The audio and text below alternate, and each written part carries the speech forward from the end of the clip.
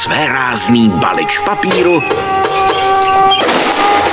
a jeho vysněný Na zdraví, velký Immanuel Kante. i neobyčejně skutečný svět. Šach, šach. Filip Noiré Usmívám se, protože v té aktovce si nesu knihy. v tragikomedii Těch si hledám odpověď. natočené na motivy románu Bohumila Hrabala. Miloš se pokládá za umělce.